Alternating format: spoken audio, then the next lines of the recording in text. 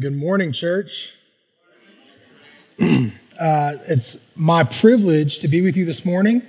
Um, let me say good morning to those who couldn't be with us this morning and might be watching online. And uh, let me say good morning to those who are worshiping with us in the upper room.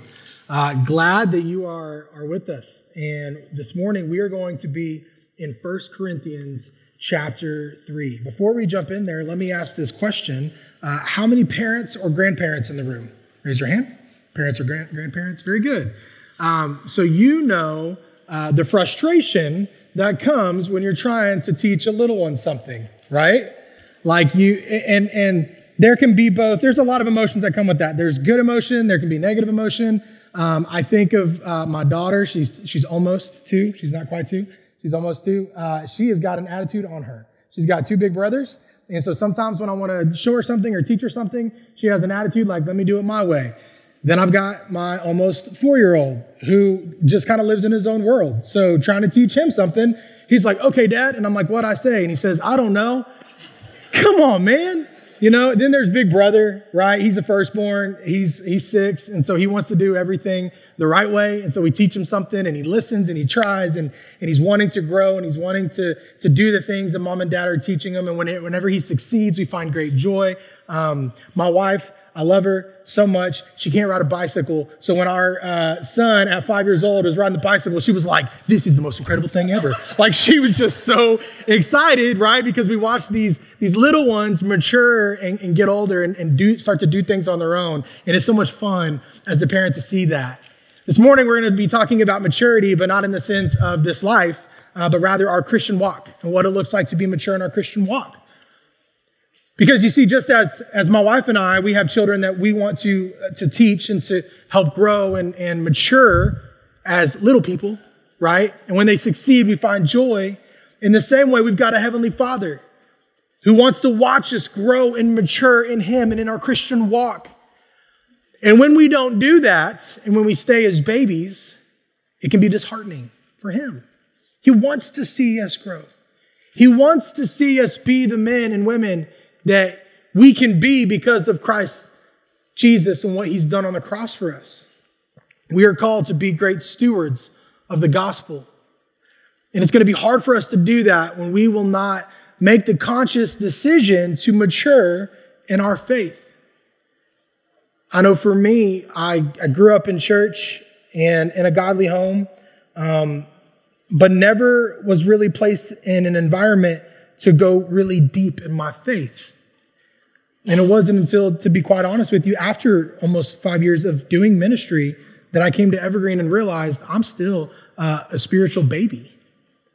And the Lord began to develop me and grow me and mature me in my faith. And I'm so thankful for that. So, my prayer for you this morning is that wherever you may be, whether you accepted Christ six weeks ago, six months ago, six years ago, 30 years ago, that you would allow the Holy Spirit to speak to your heart this morning and to say, hey, maybe you're, you are a spiritual baby and it's time to grow up. Hey, maybe you've taken one step of growth and then you got nervous and you stayed there.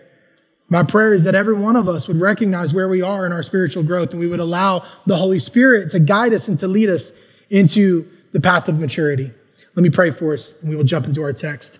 Heavenly Father, thank you for your church. Thank you for your word. God, I thank you for Paul and his investment into the New Testament church and the way that he was able to lead them. And God, as he writes this letter to the church of Corinth this morning and, and encourages them in the path of maturity, Lord, I pray that you would speak to our hearts as well. Lord, that we would be challenged to not be complacent, to have our salvation secured, and then continue to drink out of a bottle but Lord, that we would be challenged to step up as men and women of Jesus Christ and live the lives that you have called us to be as we walk the path of maturity. Lord, speak to our hearts this morning and be glorified in everything that we do. We pray this in Jesus' name. Amen. Let's read our text, 1 Corinthians chapter 3. We're going to start off verses 1 through 3. For my part, brothers and sisters, I was not able to speak to you as spiritual people, but as people of the flesh, as babies in Christ. I gave you milk to drink, not solid food, since you were not ready yet for it. In fact, you are still not ready because you are still worldly. For since there is envy and strife among you, are you not worldly and behaving like mere humans? We'll stop there. If you're taking notes, here's our first point. The path of maturity is a choice. Paul is talking to this church, and we know that his relationship with the church, he's, he's known as really kind of like the church planter of this church. And so there's been some exchange back and forth with Paul and the church, and, and many believe that Paul, as he's writing this letter, uh, is replying to some questions that the church have asked him to address some, some different conflicts and things that they have asked him to address. And so this is not just a random uh, person of God writing a letter to a, a body of believers. This is someone who is invested. This is someone that has a love for them. And so, as he is encouraging them to make the choice of maturity, he is doing this out of love. He says, for my, for my part, brothers and sisters. This is a, a term of endearment. So, in the same way, Evergreen Church, how much I love you, my, my family has been privileged to be here 10 years. And I count each one of you brothers and sisters. Let me encourage you, just as Paul encourages the church, open your ears and, and your eyes and your heart to what God would say to you this morning to grow in maturity. He says, I was not able to speak to you as spiritual people, but as people of the flesh. Let's talk about that. When he says people of the flesh here in verse 1, in the Greek, this has a special ending, I-N-O-S, I-N-O-S, which is generally used to mean uh, to be made of. Okay, so here he's saying, um, I was not able to speak to you as spiritual people, but as people made of flesh, as babies of Christ. And as he says that, he's saying it in a way like it's not necessarily up to this period in the text not necessarily a bad thing because we are all made of flesh, right? And when we come into relationship with Jesus Christ, we all start off as spiritual babies. We are all made of flesh and we start off as spiritual babies. Nowhere in scripture are we told that we will ever have made it spiritually. We will never have made it spiritually. We are called to grow and to mature in our faith until the day that we step into heaven, into the presence of Jesus. So it is something that we should make the choice to desire and to go after to grow in maturity in Christ Jesus. So, just as much as that, uh, we also know that the moment that we accept Jesus Christ, neither are we a mature believer in that moment. And yet, unfortunately, there are people who say the prayer of salvation, and they're like, My salvation's secure, so I'm just gonna clock out and sit here and let the world burn down around me and wait for Jesus to come back. And that's not what he's called us to do. He's called us to grow in maturity in so many ways that we're going to unpack this morning. But just as babies need milk, um, parents give the baby a milk, the, the, their milk, but there's this expectation that at some point, somewhere in the future, we will start giving solid food to the child, right? Then we'll teach the child how to feed oneself and so on.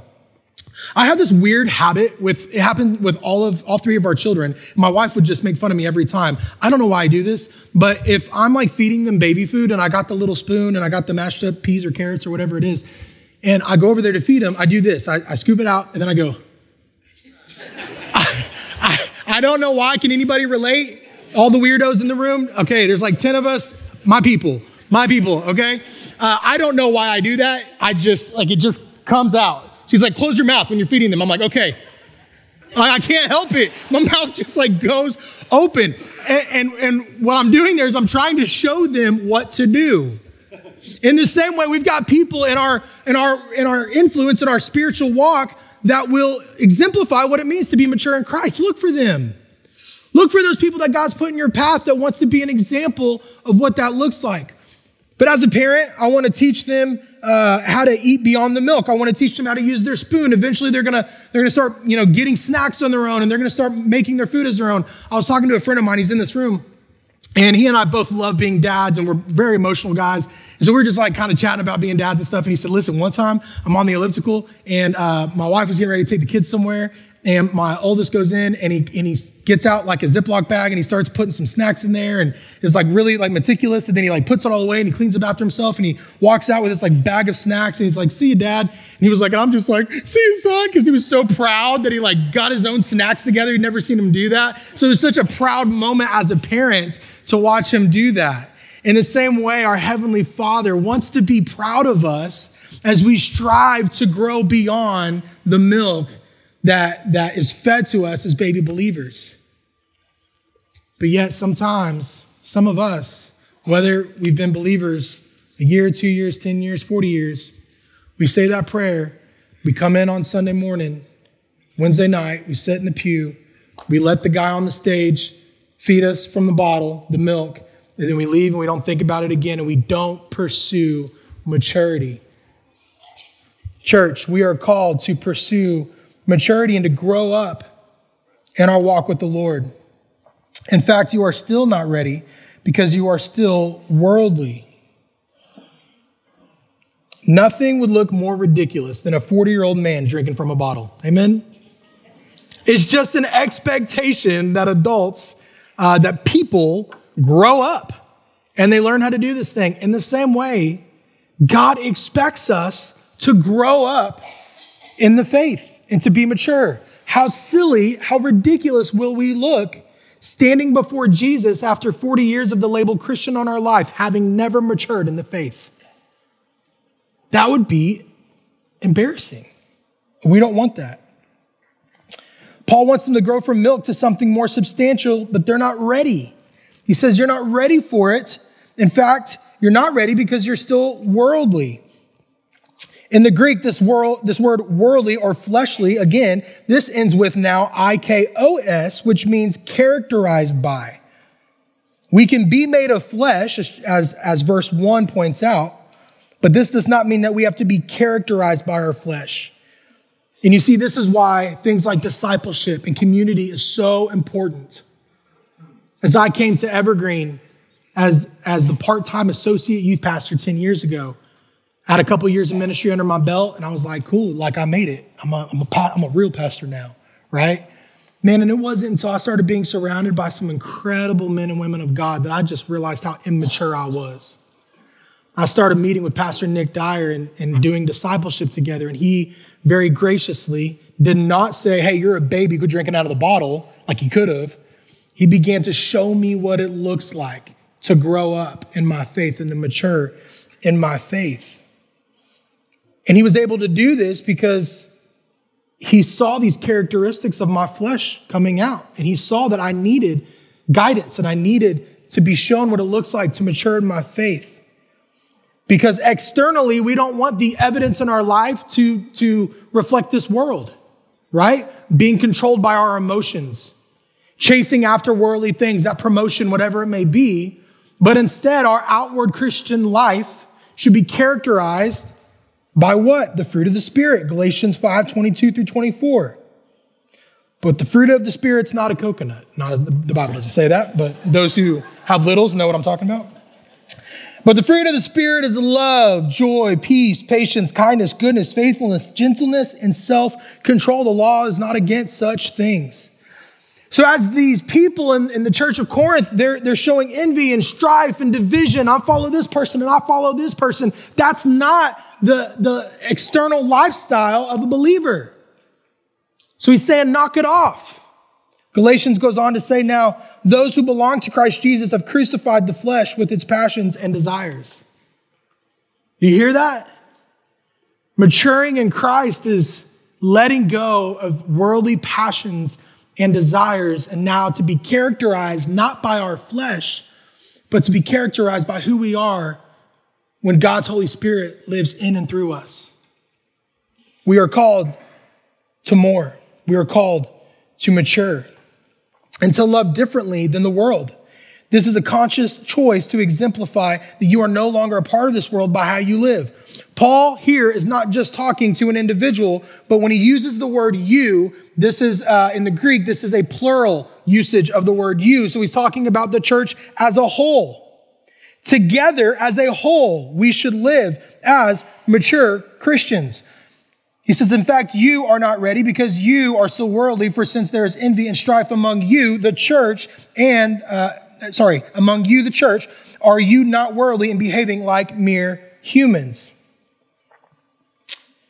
We should desire as a whole to know God's word and to know his truth. That's one of the things I love about being a part of Evergreen. In our 101 class that's happening right now, um, this is where you come into membership, as many of you know. Uh, one of the things I love that always comes from that class is when people say, uh, We're joining this church because we finally found a church that teaches truth.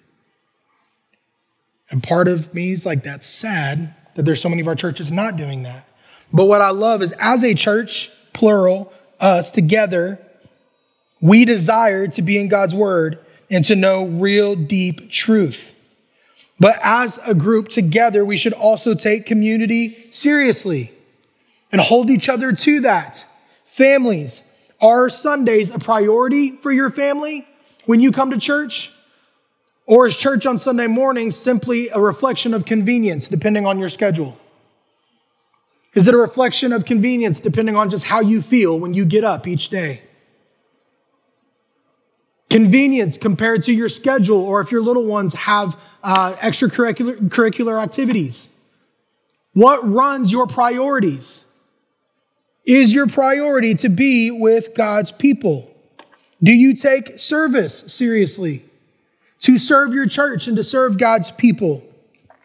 When you come to church on Sunday mornings, do you arrive to be served or to serve others? And listen, I've been guilty of that in my past to say, this church has nothing for me, doesn't offer anything for me, or whatever it may be.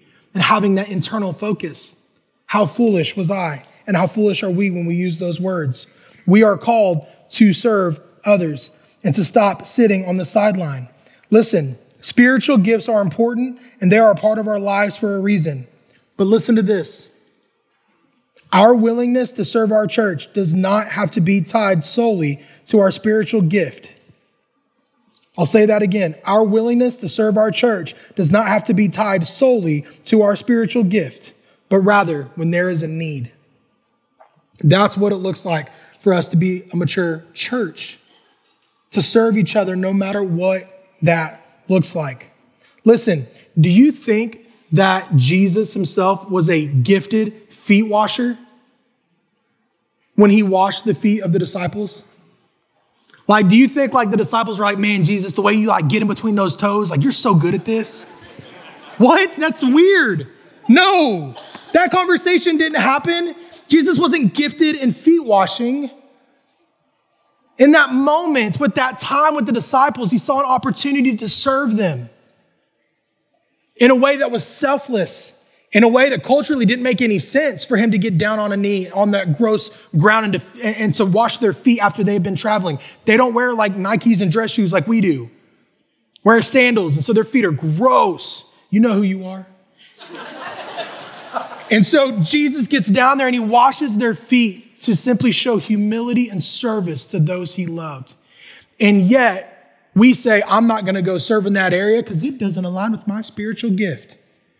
My spiritual gift is prayer. Guess what? We're all called to pray. You're not that special, okay? I'm just being honest with you. Listen, our spiritual gifts are great and they should be used in the church. We should like know what they are. Spiritual gift assessments, take them, they're great. But if we tie our service to the church solely to our spiritual gifts, we will miss out on opportunities to show up. That is immaturity. Maturity says there's a need, I'm gonna go, even though this freaks me out and I've never done this before. Even though little two year olds who pick their nose, I'm, I'm not about that, but I'm showing up because there's a need. Teenagers are gross and talk about weird things, but I'm gonna show up and serve in youth, whatever it may be. We show up because that's what maturity looks like. Listen, church, this uh, we, we are just a few months away from August, and August is Promotion Sunday. That is when a lot of our ministries kind of kick off their new year. That is when new service commitments happen across our church. I'm gonna tell you right now, there are big needs in every one of our areas because God is doing incredible things here at Evergreen, which is so exciting to be a part of to see God bringing new faces into this room, new people into our doors. In between services, I got a picture from Pastor Scott of our 101. Uh, again, as I said earlier, 101 is where you come to, to become a member. It used to be in what we call the hospitality suite, uh, which is down the hall here. We've moved it upstairs into the new wing, into one of those rooms that's a lot bigger. And he sends us a picture, and the room was full. And he says, We already need another new 101 room. I'm like, oh man, that's just, that's praise the Lord. He gets, only him alone gets the glory for that. Right? But with that sort of incredible growth that God's doing here at Evergreen, we need people to show up. Those families have babies that need to be rocked. They have little ones that need to learn uh, their verses. And, and for a moment, let me step away and not speak as a pastor. Let me speak as a parent who has seen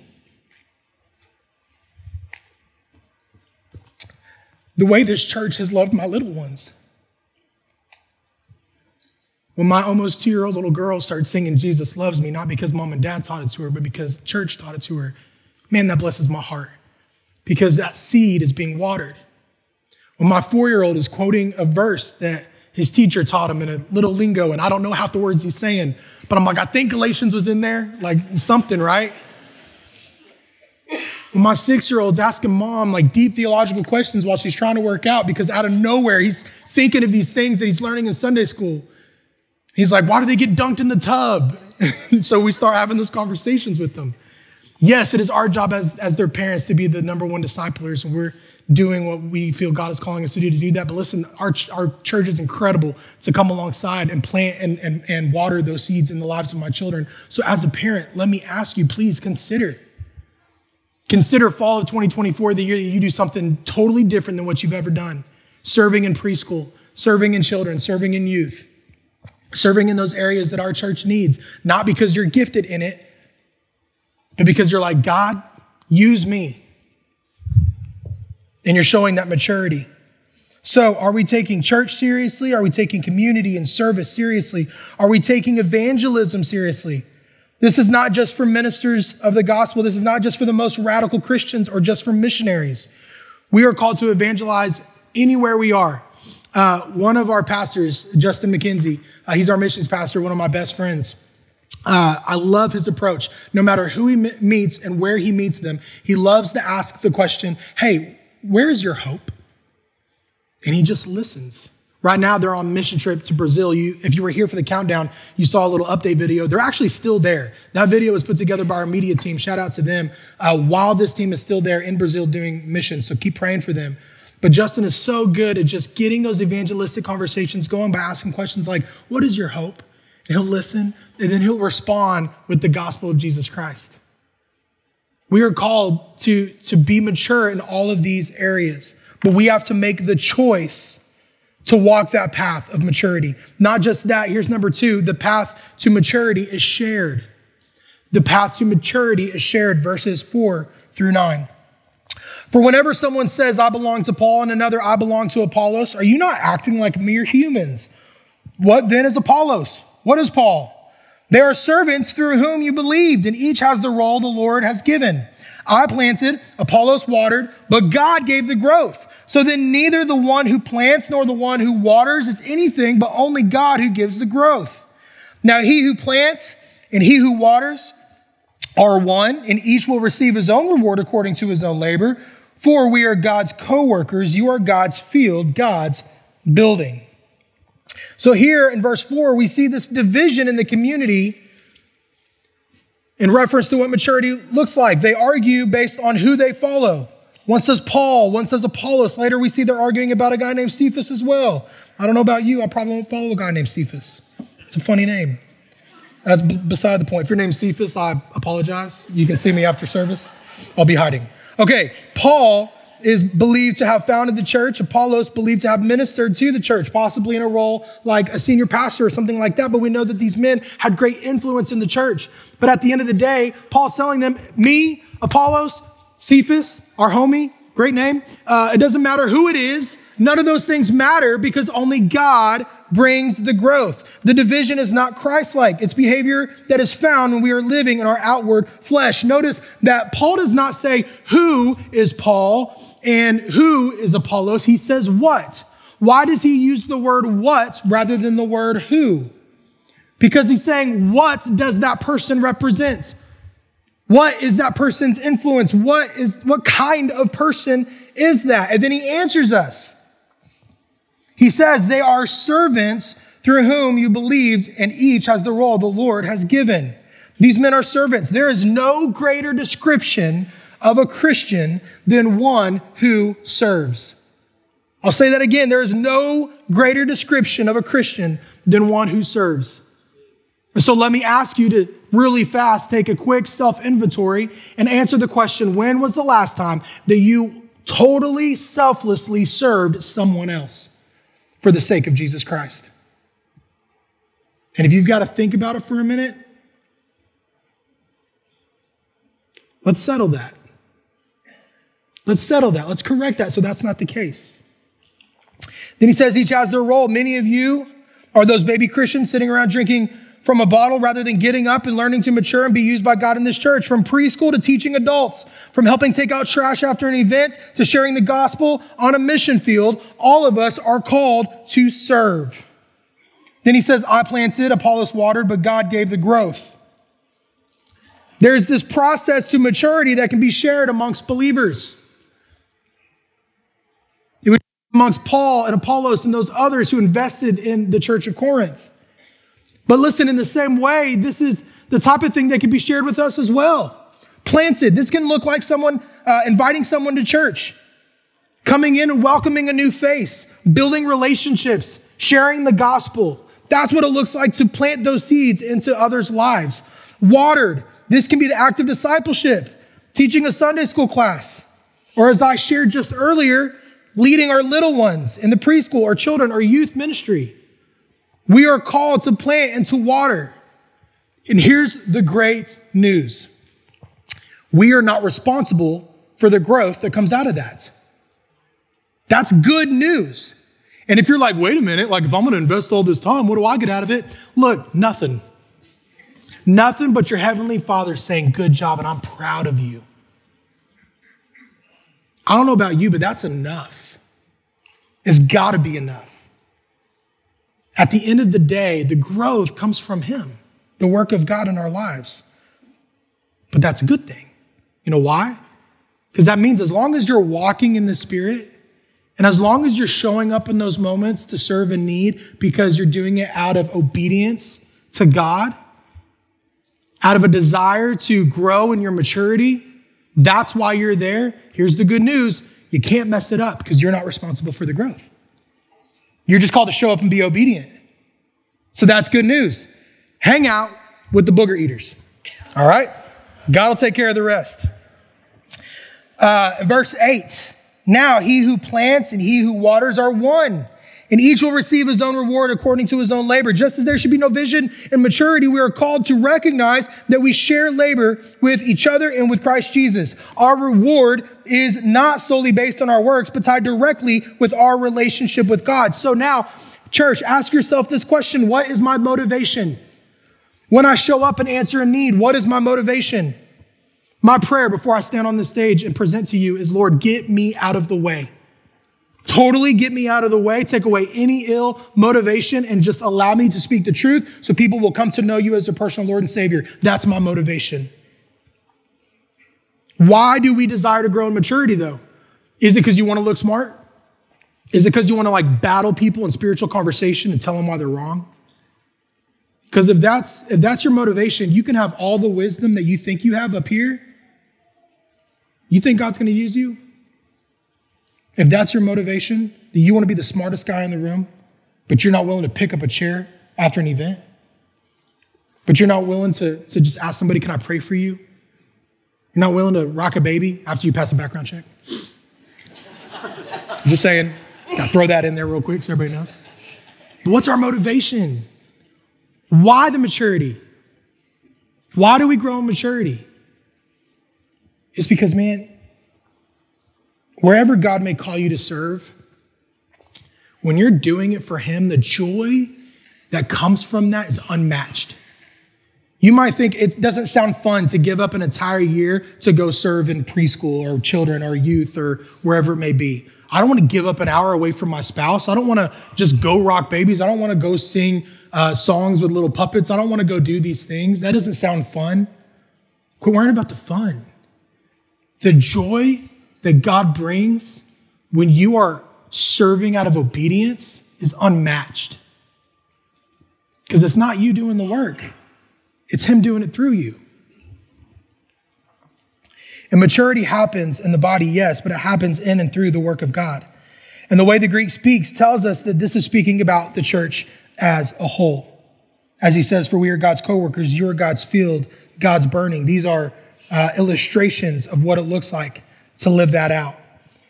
Which brings us to number three the path to maturity is founded on Christ.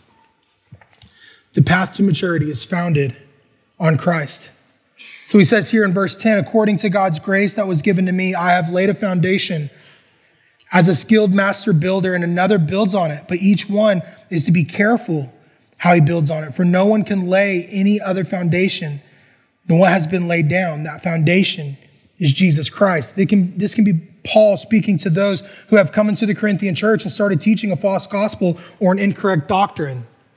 This could be Paul talking to those who are coming in and causing that division, saying, I follow this person, I follow this person, I only serve in this area, I only want to learn from this person.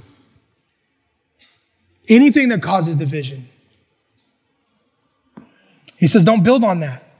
Build what is sacred. We live in a culture where there is this where there's bad theology everywhere we turn, especially in Tulsa, Oklahoma. There's bad theology everywhere you turn.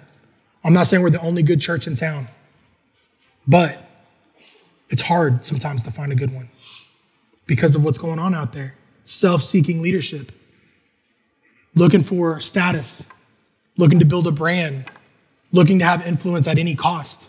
That's not who we're called to be as the church.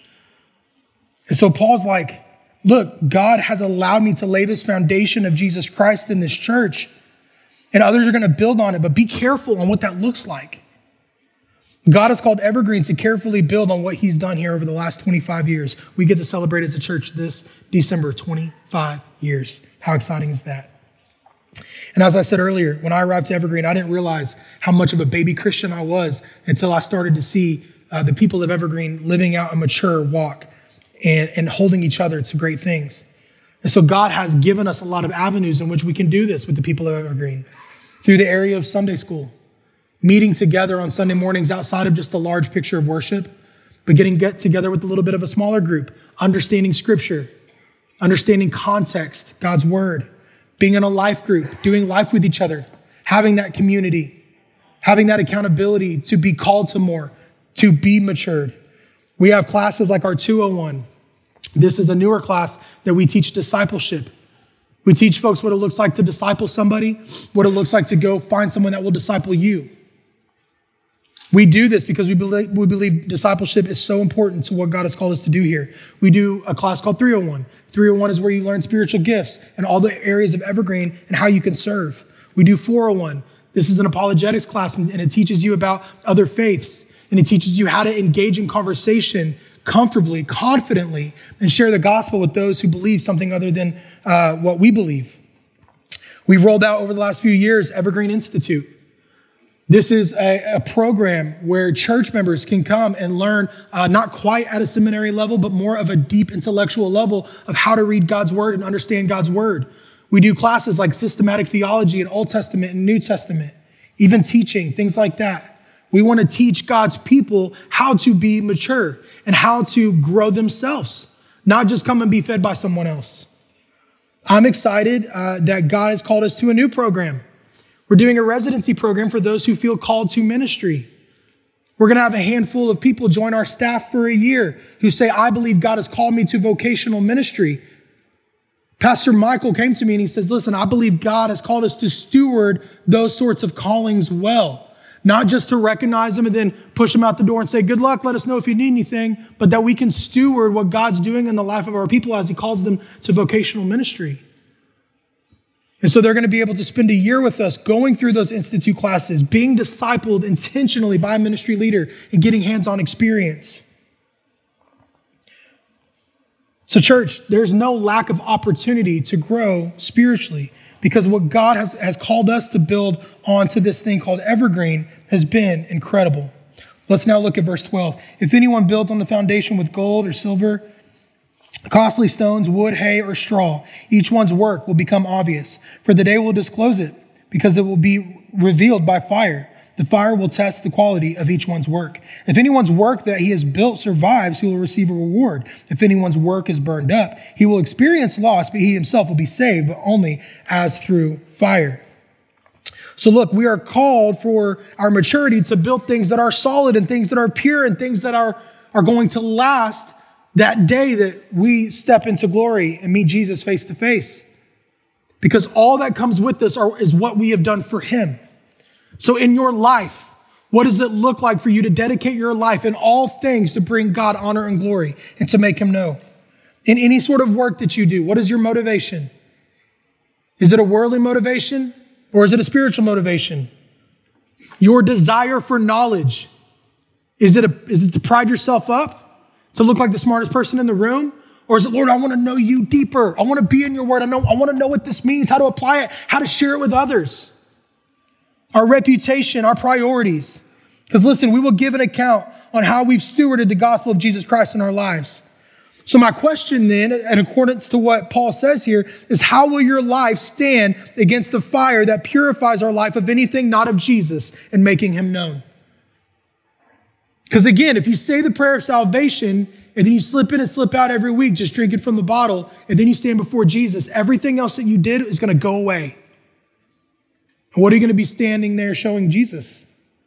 Just the life of I accepted you and I waited, waited around? As a father, if I'm investing in, in my child and I'm doing these things and I'm, I'm loving him and I'm leading him, and he does nothing with that, that will break my heart. God has given us the free gift of salvation. We have a choice to respond to that gift and accept that gift and say, Yes, I want to make you my Lord and Savior. But then from that, we must then make the decision to grow in maturity. Your salvation is secure but recognize that we are called to more. It says, if anyone's work is burned up, he will experience loss, but he himself will be saved, but only as through fire. So we know that Paul is writing here to all of the believers. And he's saying, if you've accepted salvation, you're good, but you are called to more. So be more. Be what God's called you to be. Let's look at the next few verses. Don't, verse 16. Don't you yourselves know that you are God's temple and that the Spirit of God lives in you? If anyone destroys God's temple, God will destroy him. For God's temple is holy, and that is what you are. So again, recognize that this is him speaking plurally, uh, not singularly, okay? Not just as a person. Yes, there are verses that tells us that our body is the temple and the Holy Spirit dwells within us. That is not the context of this. This is talking about the entire church. So he says, don't you, don't you yourselves know that you, the entire church, are God's temple and that the Spirit of God lives in you, the entire church. If anyone destroys God's temple, the entire church, God will destroy him for any, for, for God's temple is holy and that is what you, the entire church, are. If there's anyone trying to cause division or teach a false, false gospel, God will intervene. And I don't know about you, but I would not want to stand before God after actively trying to cause division in his church. God's word speaks about the church. Uh, one, one of the phrases that is used is as the bride of Christ. I myself have a bride, Ashley, high school sweethearts, just celebrated 12 years, three kids. She's special. Amen? I'm watching. Who's saying it? No, I'm just kidding. No, she's special to me. I love my bride so much. So much. But man, you mess with my bride,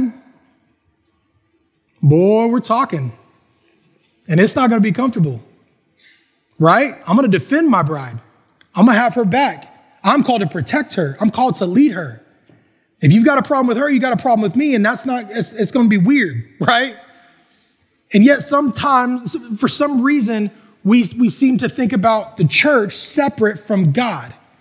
Like we can have this relationship with God, and me and God are good, and we have an understanding, but His church, I don't want anything to do with that. And then we start talking negatively about His church.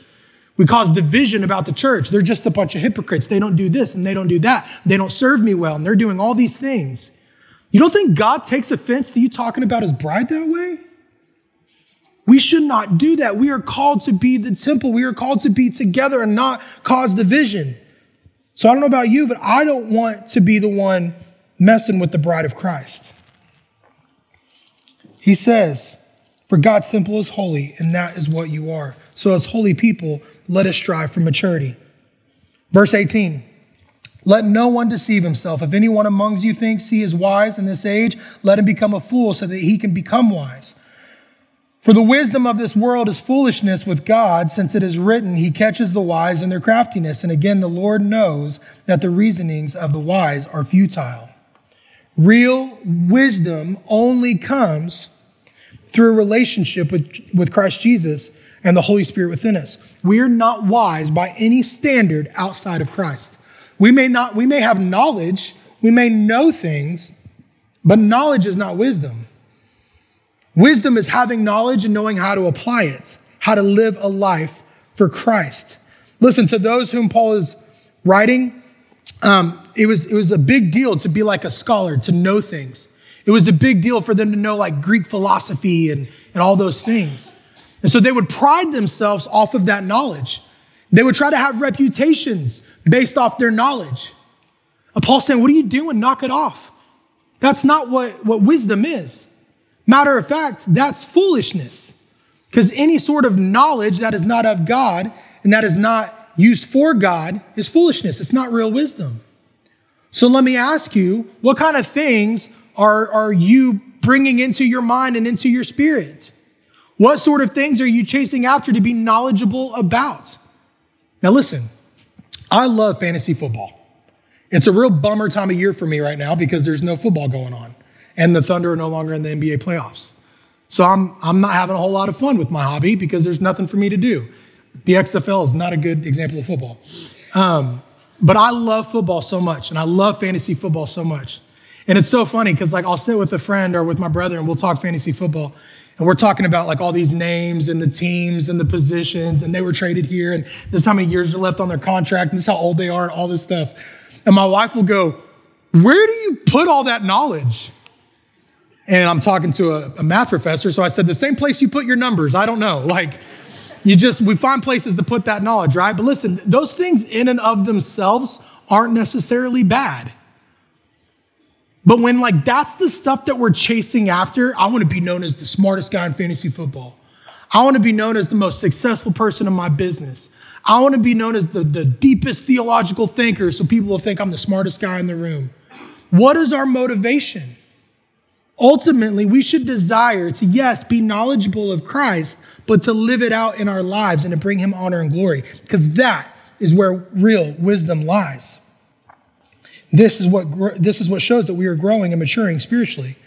Let's wrap up here verse 21 through 23. So let no one boast in human leaders for everyone everything is yours, whether Paul or Apollos or Cephas or the world or life or death or things present or things to come everything is yours and you belong to Christ and Christ belongs to God.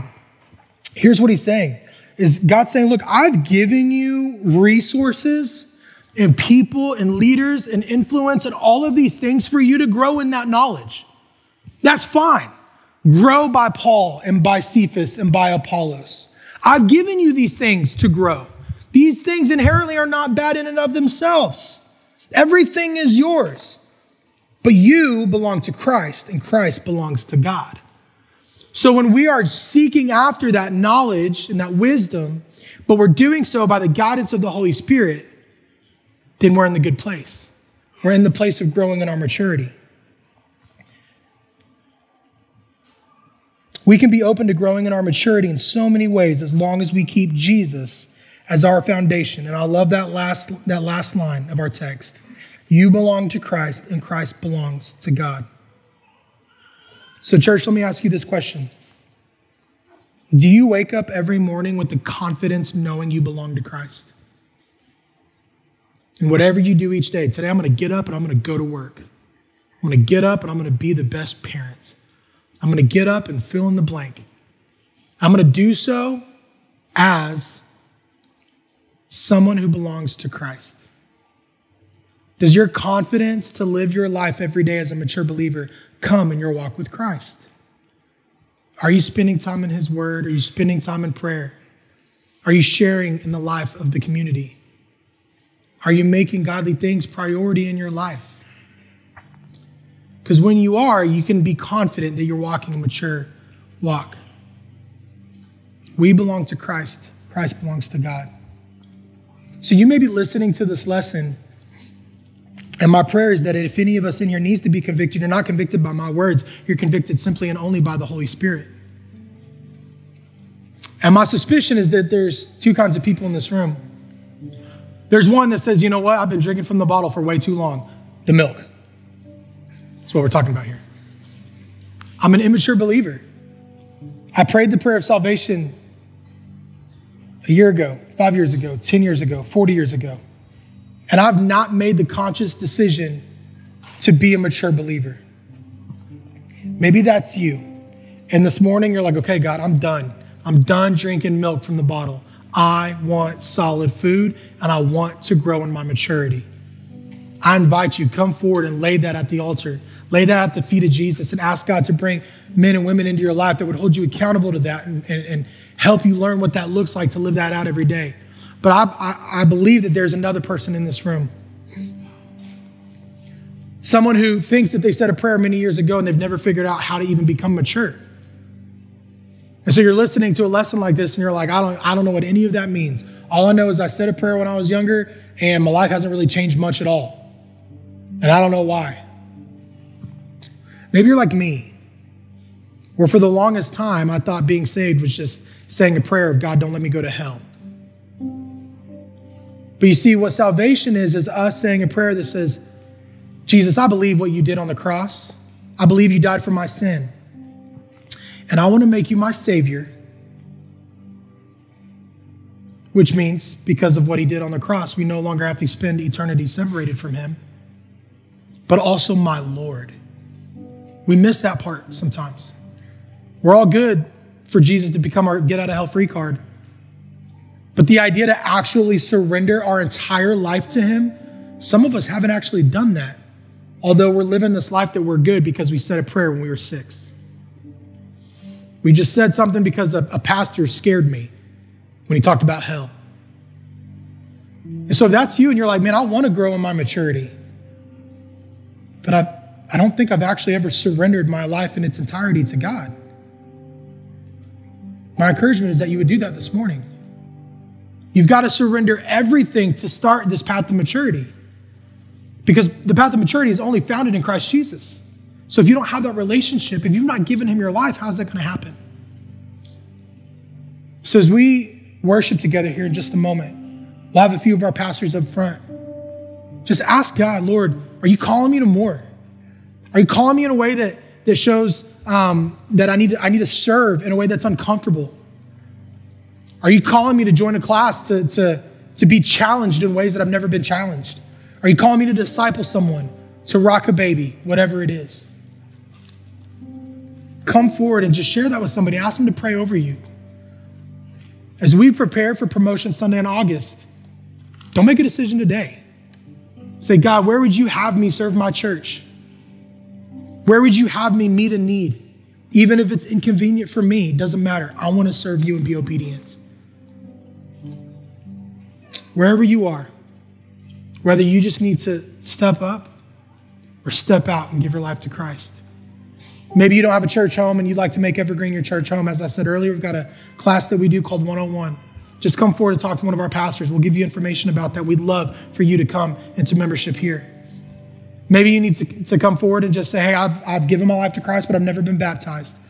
I want to stand before the church and I want to declare my commitment to giving my life to Christ. Just come talk to a pastor. We'll get that taken care of. Let me pray for us, and the altar will be open. Heavenly Father, thank you for your work in our lives. Thank you for this word you've given us this morning, God, and I pray that we are all challenged to grow in our maturity. Lord, I pray for each individual in here, from the most mature to the least mature. Lord, call us to more, because more is not from our own means, more is us living in and through you and allowing your work and your power to be displayed through us. God, right now I pray that there are walls being broken down. I pray right now, Lord, that you would give that person in this room boldness to say, I need to surrender my life. God, I pray that you would call each of us to serve you obediently, regardless of what it looks like. That you would have your way in the people of Evergreen. Lord, move in your people. I love you and I pray this in your name. Amen. Stand and let's worship.